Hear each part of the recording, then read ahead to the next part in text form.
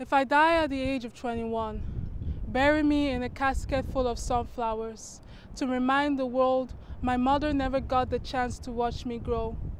If I die at the age of 30, bury me underneath dead bushes.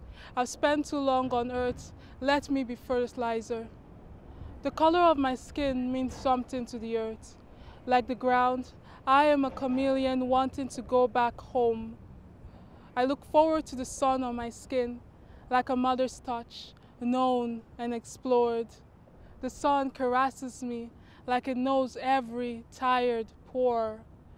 I am known as an earth goddess, but people like to call me black girl, cause black girl strong, black girl beautiful, black girl wanted someone to hold her by the fingers and call her enchanting, a candy mix of spirituality and sunflowers, a fragrance of opportunity. We are adaptation's creation because we create culture.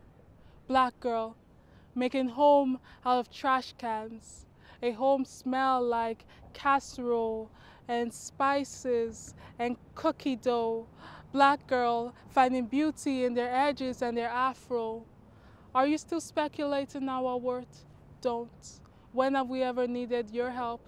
Call us the border between a nightmare and sweet dreams. Call us a daydream.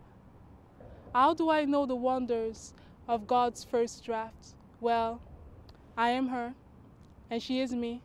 You are her, and she is you. You are her ally, her friend, her lover. You walk past her every morning and admire her flow. You stare because she radiates royalty. And once she knows her words, the ground will sing its praise. Say your grace on the table for every black girl. So when I die, bury me in a million different lilies and sunflowers.